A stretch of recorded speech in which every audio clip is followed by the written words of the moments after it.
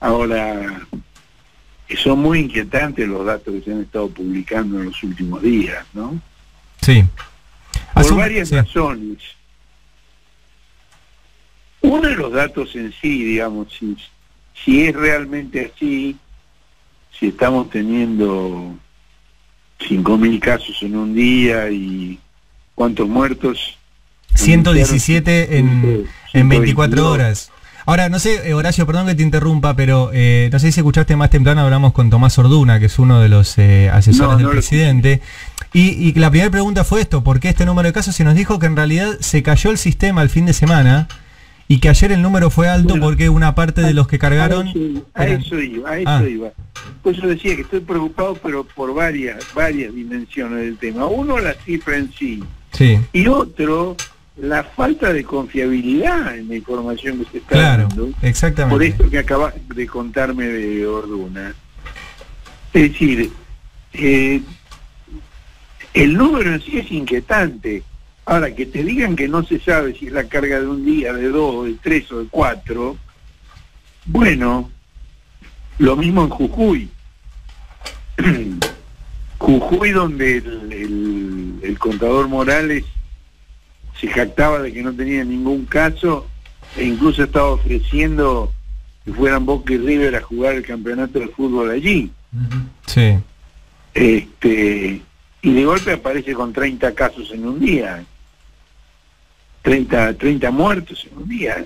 Mm. no, no sé si 30 muertos o 30 casos. Eh, ya te digo exacto, pero... Creo que se va a haber bastante más de 30 casos. Eh, se llegaron a registrar más de 80 en un día. bueno, entonces pueden ser 30 muertos. No, no tengo el dato a mano. Eh, Jujuy tuvo 120 casos eh, ayer, 884 ya tiene en, total un número altísimo, ya, superó a Entre Ríos, ya superó a Mendoza, está llegando a los números de Neuquén, superó a Santa Fe, mm. eh, siendo una provincia mucho más pequeña que, Santa Fe, obviamente. bueno, son datos realmente inquietantes y eh, aquí lo que se ha planteado es que esto implica la falta de efectividad del endurecimiento de la cuarentena anunciado a partir del primero de julio. Pero yo veo otra cosa, y es que Estamos a día 22 y el 9 de julio, es decir, hace 15 días, hace dos semanas, hubo movilizaciones de mucha gente en distintos lugares del, del país sin las medidas de seguridad mínimas requeridas y de eso veo menos comentarios. es verdad. Eh, en alguna intervención anterior yo había planteado que había que ver cuál iba a ser el efecto de esas cosas, porque me parecía que después de los banderazos del 25 de mayo y del 20 de junio, dos semanas después había habido aumento de casos. Sí. Y que había que ver qué iba a pasar dos semanas después del 9 de julio. Bueno, estamos dos semanas después del 9 de julio y hay un crecimiento alarmante. Esto me hace pensar en lo que está pasando en Estados Unidos, no porque la situación sea exactamente igual, porque en realidad en la Argentina ha habido una serie de medidas de cuidado, mientras en Estados Unidos todo lo contrario. En Estados Unidos el gobierno se ha burlado del virus, ha planteado que no era grave, ha impulsado, digamos, la reapertura de actividades. Y en este momento están en una situación caótica, eh, Y el presidente Trump recién se está empezando a preocupar ahora, no por las muertes, que evidentemente no tiene mayor empatía con ese tema, sino por las encuestas electorales. A él no le preocupa, pero a mucha gente sí le preocupa. Y las últimas encuestas lo dan 15 puntos por detrás de Joe Biden. Así es. Que según una frase muy apropiada de Jaime Durán Barba, es más aburrido que de la Rúa. Sleepy Show le decía, ¿no? Sloppy Show. Sloppy Show. Sloppy show. Eh, le dice trampa a Biden. Sí. Este, entonces ahora sí se está empezando a preocupar. Y la idea, digamos, de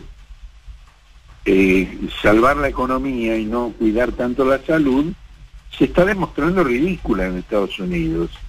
Pero la economía está sufriendo muchísimo. Y, por ejemplo, el New York Times publicó una nota tremenda sobre la cantidad de pymes y de negocios históricos que están cerrando en forma definitiva en Estados Unidos este, por la pandemia, no por la cuarentena, por la pandemia. Negocios, la nota elige varios negocios en distintos lugares del país, que son empresas familiares con más de un siglo de antigüedad. Y cuenta la historia de cada una de esas familias y cómo no, no tienen ventas y no pueden, no pueden mantener los negocios y los están cerrando. Eh, eh, en la Argentina digamos, se tomaron una serie de medidas de cuidado. Eh, por supuesto, menos de las que hubieran sido necesarias, porque la situación económica de la Argentina es bastante más complicada que la de Estados Unidos. Por el tema del endeudamiento, por la, digamos, la estanflación que dejó el macrismo después de cuatro años de catástrofe. Este, es decir, el país está en un proceso de estanflación, que es el peor de los mundos, es, tener alta inflación que tomos a raíz de la de la cuarentena está bajando porque hay muchísimo menos demanda, pero está subiendo el otro componente, baja la inflación, pero sube la recesión. Y aquí también hay cierre de negocios. Ahora, la política de cuidado, donde está teniendo mucho éxito en Alemania, que es realmente elogiada este, por todo el mundo. Y recuerdan la semana pasada un artículo en alguno de los de los medios internacionales más importantes, no recuerdo ahora cuál era, donde colocan en un mismo escalón de, de elogio por el manejo de la pandemia a Angela Merkel y a Alberto Fernández. Y lo que se plantea es que los países que han cuidado este, a la población, que han tomado todas las medidas preventivas recomendables, son los que van a tener la más rápida recuperación económica cuando termine la pandemia. Y en ese, en ese rubro claramente está Alemania. Ahora, esa Argentina, digamos, e-, elogiada internacionalmente, esa política de cuidado, está puesta en riesgo por la presión este, que se ejerce desde el poder económico y desde los medios comerciales para levantar la cuarentena. Y el resultado que estamos viendo es este crecimiento de casos de infección y de muertes, lo cual también compromete la recuperación futura. claro. De acuerdo a este análisis digamos, que se ha hecho respecto de la situación de Alemania y de la situación de Estados Unidos. Y a tu criterio, Horacio, eh, estos medios comerciales y el poder económico, ¿lo hacen por una razón económica o electoral? ¿O ambas? Yo creo que hay un poco de cada cosa. Y hay una tercera cosa que no hay que subestimar, que es el desconcierto. Es decir, hay una, hay una tendencia ante una situación nueva, desconocida, amenazante, preocupante, hay una tendencia a reaccionar con los reflejos clásicos y cada uno a hacer lo que, lo que siempre hace. Y, eso no es adaptarse a la situación excepcional. Adaptarse a la situación excepcional es actuar en forma distinta a lo habitual ante una situación distinta a lo conocido, distinta a lo habitual. A mí me parece que, bueno, en los últimos días se han contagiado una cantidad de personas públicamente conocidas. Es decir, un colega nuestro de, de S5N, este, la fiscal a cargo de la investigación del espionaje en Loma de Zamora. Es decir, empieza a haber, bueno, eh, un par de intendentes, el intendente de la Grindetti, y todos tenemos casos que conocemos personalmente que se han enfermado. Lo cual es consecuencia del incremento de casos. Ya no es una cosa que se lee en las noticias, sino que uno conoce directamente. Frente a eso, la idea, digamos, de, preservar la economía, esa frase de que va a causar más muerte la economía que el virus, ignora la relación básica que hay entre la enfermedad y la parálisis económica. Que, digamos, eh, Alberto Fernández lo dice con mucha claridad cada vez que habla. Si la gente se enferma, no trabaja. Claro. Los, los enfermos no producen. Sí, y los muertos no consumen y los muertos no consumen, exactamente, ni pagan deudas, como dijo Exacto. Como dijo Kirchner este, en una frase famosa. Y bueno, podemos dejar planteada esta reflexión sobre la pandemia, la cuarentena, y, pasar justamente al tema de la deuda. Sí, por favor, sí, sí, puede ser uno de los temas también que queríamos charlar. A mí me parece que digamos, toda esta presión sobre el gobierno, las fake news que hemos estado comentando en nuestras anteriores intervenciones, tiene que ver con el cierre de los plazos de la negociación de la deuda. Así como en el año 14 y 15, Cambridge Analytica y Steve Bannon trabajaron para Macri de modo de eh, forzar la salida del gobierno kirchnerista y conseguir que Macri pagara todo lo que los buitres querían cobrar, a mí me parece que se está dando una operación parecida, aunque en este caso no son buitres los que están en juego, sino fondos de inversión, pero fondos de inversión que ven a la Argentina como un caso que no importa tanto por la magnitud de su deuda, sino como ejemplo de demostración para otros casos. Porque hay medio centenar de países que están tecleando al borde del default, aparte de las empresas, de las grandes empresas.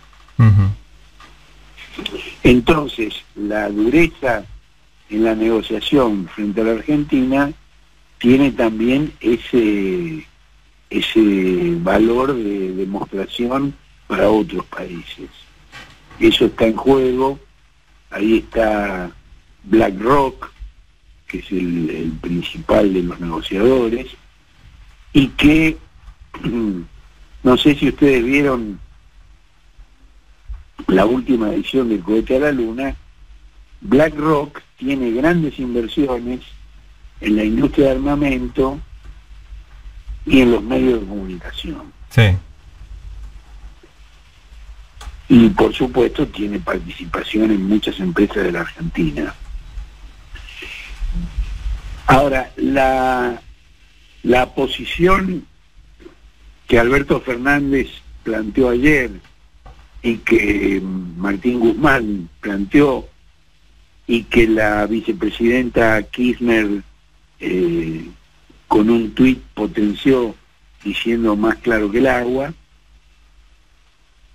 muestra, digamos, que hemos llegado a un punto de definición. La Argentina no va a seguir este, cediendo y los acreedores tendrán que definir qué hacer. Y esto, por supuesto, acentúa todas las, todas las tensiones, pone muy nerviosos a los medios comerciales, porque ellos son los principales interesados en que se en que se llegue a un acuerdo con los acreedores sin importar las consecuencias que ese acuerdo tenga para la sociedad argentina. Lo que les importa a ellos es que se le reabra a ellos el crédito internacional. Y si para eso el Estado tiene que comprometerse a condiciones que impliquen sacrificios intolerables para los sectores más vulnerables, al grupo Clarín no le preocupa. Claro. A la nación no le preocupa. Ellos lo que lo que están buscando es un acuerdo que refuerce su posición en los mercados este, financieros internacionales. Me parece que esas son las cosas que están en juego en este momento. Y por último, bueno, eh, toda la todo el rum rum que se ha instalado en torno al Edesur. Sí. Este yo cuando vi las posiciones de los intendentes, lo primero que pensé es ya tenemos títulos para la tapa de Clarín. A ver. Me equivoqué, están en la tapa de la Nación. Bueno, casi lo bueno, van por turno, van por turno. División del trabajo. División del trabajo, sí. No todos están sincronizados como cree Rinconel, ¿no? También, es verdad. Este... Ahora, a mí me parece que la el control estatal de las empresas de servicios públicos es deseable. Ahora, que un intendente lo plantee y que no haya ningún plan al respecto me parece un disparate. Es decir, es una cosa que si, si, se, si se toma una decisión en ese sentido, hay que estudiarla muy bien y hay que instrumentarla muy bien. Y no tirar el tema así para que te destrocen en los medios, para que te refuercen la idea de un gobierno estatista que, que persigue la propiedad privada, lo cual es un disparate este, pero que es un componente del debate político. Digamos, es el caballito de batalla que ha elegido este eh, junto por el cambio. Entonces me parece que esos son errores no forzados. Esos son errores que el gobierno debería tratar de corregir. Debería haber, digamos, alguna forma de conducción que ponga límites a estas cosas, que no, no cualquiera diga cualquier cosa. Me parece. Es un tema para seguirlo más adelante, lo pongo sobre la mesa, estoy dispuesto a escuchar réplicas. No, no, te, estoy, sí, te estoy escuchando muy atentamente. Para más, eh, eh, los intendentes, eh, entiendo, juegan con la cercanía de millones de personas que se quedaron sin luz. Y bueno, y por ahí le sale eso, pero es cierto, por ahí no es el mejor discurso en este momento. Si es que no lo vas a hacer en serio, si lo vas a hacer en serio. No, claro, si, si hubiera algún plan al respecto, pero por ejemplo yo estuve averiguando un poco mm. en tres este, lugares que tienen relevancia al respecto, que son la gobernación de la provincia de Buenos Aires, el Poder Ejecutivo Nacional y el Senado de la Nación, la vicepresidencia de la Nación. Y en ningún lado no está eso en agenda. Hay nada instalado sobre el tema, no forma parte de ningún plan ni del gobierno de la provincia, ni del Poder Ejecutivo Nacional, ni de la vicepresidenta Cristina Kirchner. Por eso me preocupa, porque, porque si hubiera un plan, bueno, lo analizamos, vemos si es factible, qué fuerzas hay que poner en juego, qué perspectivas hay, para que no aparezca después un, juez de Morondanga y te mete una cautelar y te pare todo. Y digo, y eso da una imagen de debilidad que en principio no es real, pero que si se suman episodios de ese tipo termina siendo real. Claro. Sí, sí. Bueno, eso quería poner sobre la mesa para que para que empecemos a pensarlo. Totalmente. El viernes. Como parte del debate político. Totalmente, totalmente. El viernes, si te parece, continuamos, porque además esos temas van a seguir. Pero claro. Bueno, hablamos el viernes, Horacio, codazo y cuídate. Codazo y chinchulines. Codazo y chinchulines, chao.